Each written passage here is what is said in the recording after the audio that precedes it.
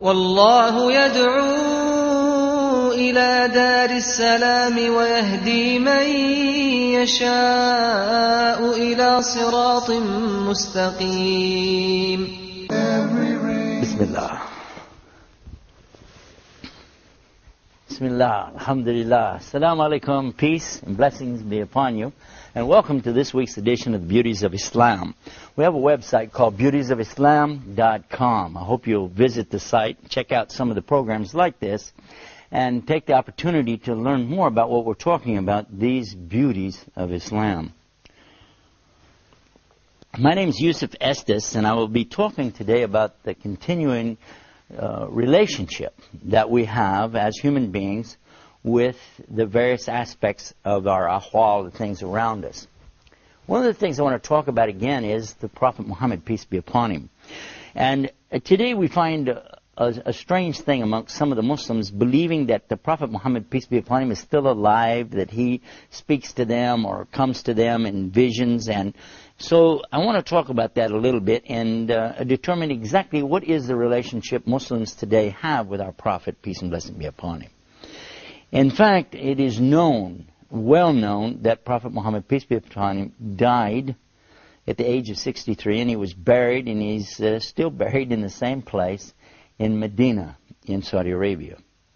Now what about those people who will tell us that, well, no, but you know, he talks to me.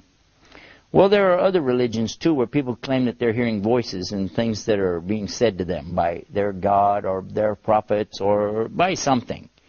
But in fact, the Prophet Muhammad, peace be upon him himself, told us some very important information.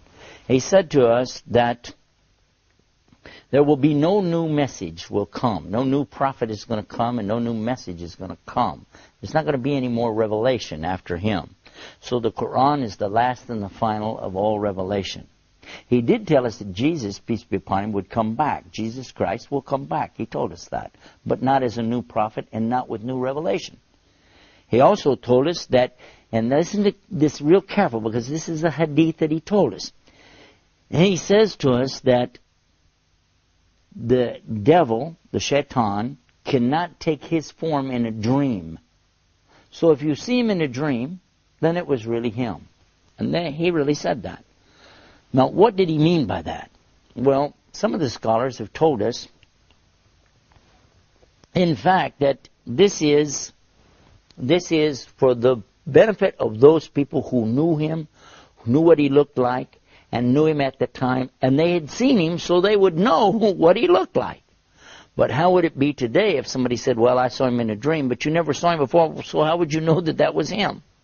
So that's one of the discussions that people are having about our Prophet Muhammad, peace and blessing be upon him. But in any case, I will tell you without a doubt, today our Prophet Muhammad, peace be upon him, is with us in a special way. How? Is by his hadith, his teachings, his sunnah, which is very clear to us. Very clear to us. As Muslims, we know it exists and we can follow it, and this can be something very good for us. All of us, we love the Prophet Muhammad so much we say after his name, Sallallahu Alaihi Wasallam. Peace and blessings be upon him. This is something every Muslim should say after they mention Prophet Muhammad Sallallahu Alaihi Wasallam. But now, what is it we really want? And for me, I think I understand it rather well that the Prophet Muhammad told us that he is going to be in a part of the paradise called Jannatul Firdaus al-Ala. This means the highest and the highest of the highest heaven. And then he is going to be there, and it's the closest to all of the other prophets. He's going to be in the proximity of the other prophets, of the prophet David, the prophet Adam, the prophet Abraham, and prophet Moses, and prophet Suleiman, and prophet Noah, prophet Lut, prophet Ayub, Job. All of these prophets, peace and blessings be upon all of them. This is the proximity where Prophet Muhammad is going to be. Now, do you want to talk about you saw him in a dream here? Or do you want to talk about being with him in reality in the next life? And I think this makes the most sense. And it helps us really to put some other things in perspective too. You see, Prophet Muhammad, peace be upon him, was insistent when he told us, do not eulogize me. Don't raise me up and make me something that I'm not. Eulogize is the word we use in English for the word he used in Arabic. Don't make me bigger than what I am. I'm nothing more than what? And he said, I'm nothing more than a slave of Allah, a worshiper of Allah, and just a simple messenger. I'm a human being like you. This is what he was telling us. And yet today you have people who are trying to make him something that he that he never said he was. Trying to make it like he's floating around in the air, that he is in this place and he's in that place and speaking to people from behind rocks and all who knows what. So when we hear these kinds of things, we as Muslims should be responsible to say, hey, wait a minute. This is not reality. This is just something that you're coming up with. This is something that you're saying and doing that that really has no basis in Islam. We don't find a teaching for that. And find, in, in fact, we find that Prophet Muhammad, peace be upon him, denied any kind of superpowers or supernatural existence. That he was, in fact, a human being. And in fact, he did have a shadow. And there are those who are out here saying, oh, he didn't have a shadow. And uh, why would you say something like this? Why would people make up these things? Well, I can understand that you have a great uh, a love and affection for our Prophet, peace be upon him. But you know what? When you really love somebody, what should you do? And Allah told us in the Quran clearly about it. قُلْ إِن كُنْتُمْ تُوهِبُونَ اللَّهَ فَتَابِعُونِي يُبِّكُمْ اللَّهُ وَيَغْفِرْ لَكُمْ ذُنُوبَكُمْ وَاللَّهُ غَفُورٌ رَحِيمٌ So let's think about this and we'll go to break. And the meaning of it, say to them, Muhammad, when they say they love Allah, if you really love Allah, then you should do what? You should be following me. Follow me. Then Allah will love you. He'll forgive your sins. He's the forgiver, the merciful. Stay right there. Don't go away. We're going to be right back after this break. And we'll continue talking about this important subject about our relationship with Muhammad. Islam is keeping up the pace. Islam is for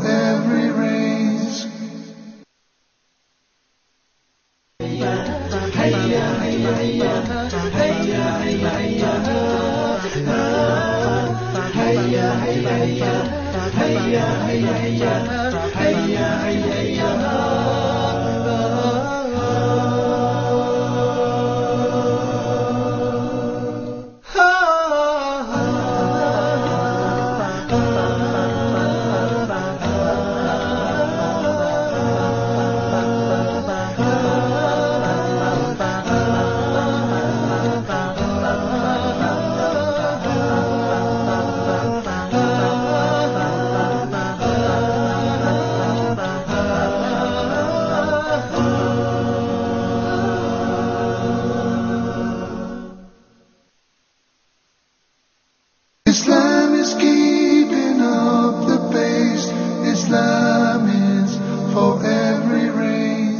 Sallallahu alayhi wasallam.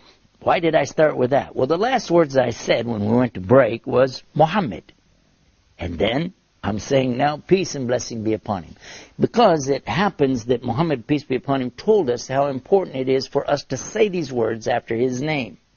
And this is not a joke, and this is not exaggeration, this is real. One time, the Prophet Muhammad, peace be upon him, was with his companions, and he stepped up, you know, like on a, some steps. He stepped on the first step.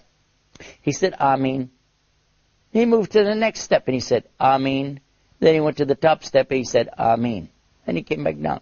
I said, uh, what's that? they didn't understand what's going on.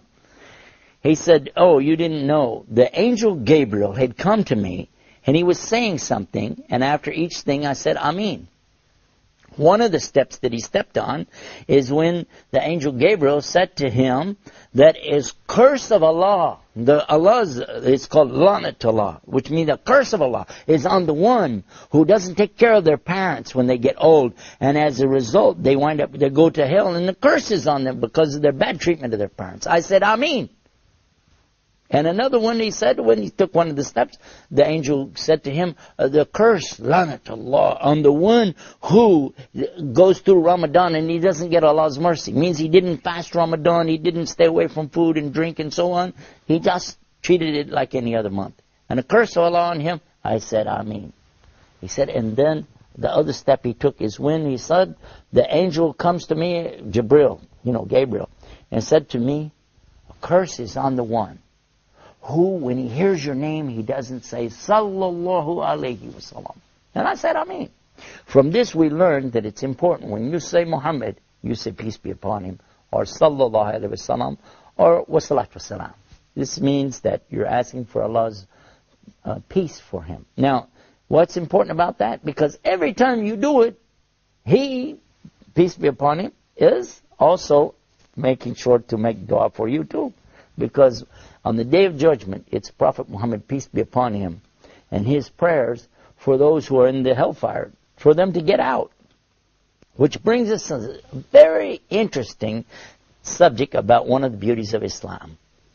And I just want to touch on this just for a second, let you think about it. Do you know in Islam, we don't believe that all Muslims necessarily go to paradise. And we don't believe that everybody else just goes to hell automatically either. No, we don't.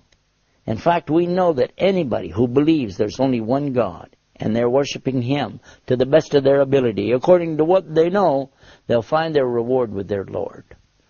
This is true of the followers of Moses that knew him and followed him, they went to paradise. The followers of Abraham, the followers of Noah, the followers of David and Suleiman, and certainly the followers of Jesus Christ, peace and blessing be upon him, any of them that recognized his teaching, La ilaha illallah, there's only one God to worship, and they followed him to the best of their ability, they would be successful in this life and the next life. And certainly that's true of Muslims as well. But at the same time, we're going to tell you that anybody who just says, I'm a Muslim, that isn't a guarantee for them. And the Prophet Muhammad, peace be upon him, made it real clear.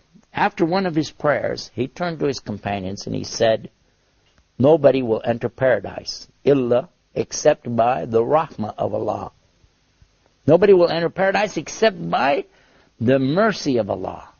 They said, even you? He said, even me. So we see right away that it doesn't mean that we as Muslims are automatically saved. What it means is we as Muslims have a chance, have a chance, because at least we know the right way, and we should be acting on that.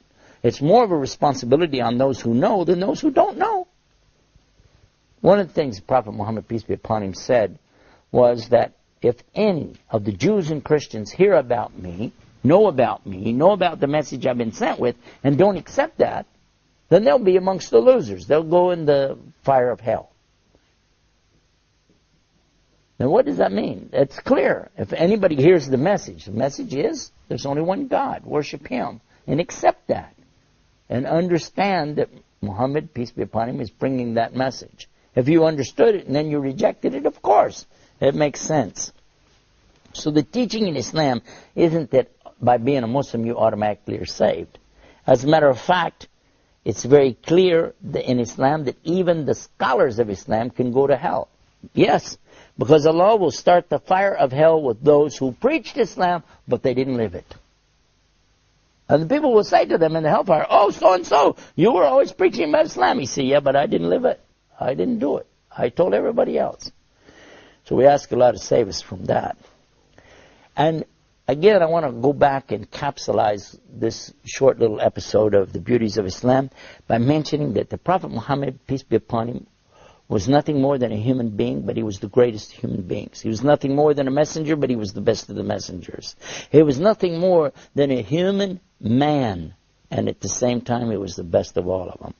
We don't want to overstate it, but we don't want to understate it. And when we mention his name, we say, Sallallahu Alaihi Wasallam. And we have more about this on another one of our websites.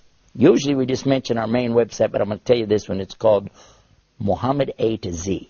You might want to check it out. And also, talking about websites, don't forget our website, beautiesofislam.com. Till next time, peace be upon you. Salam alaikum rahmatullah. Islam is peace, Islam is ease, Islam